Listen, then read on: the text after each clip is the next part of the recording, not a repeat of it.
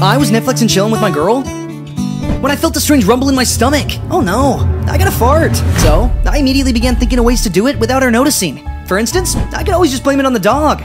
But the dog probably wouldn't be too happy. Maybe I could attempt to waft it before she caught the scent, but the fan in the room would just blow it right back.